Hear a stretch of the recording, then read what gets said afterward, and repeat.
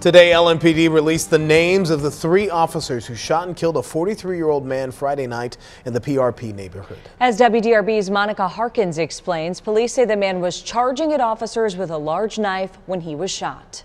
Police responded to the report of an armed person on Crawford Avenue. That's just off of Dixie Highway in the PRP neighborhood just before 11 p.m. Friday.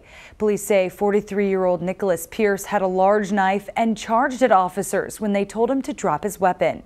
LMPD officers you see here, Christine Silk, Noah Sheets, and Bailey Seargrist tried non-lethal means to stop him, though police didn't say exactly what those means were. Ultimately, the three officers shot Pierce. After discharging their firearms, the suspect continued to hold officers at bay with the knife, thus preventing them from performing immediate life saving measures. Officers were able to get the knife away from him to then try and help stop the bleeding from the gunshot wounds. Pierce was transported to the hospital Friday night and died Sunday morning. Part of protocol for LMPD is releasing any prior discipline or commendations of the officers. None of the officers involved had any disciplinary actions on their record. And Officer Seargrist had one positive commendation on his. Next, we're expecting body camera footage of this shooting within 10 days.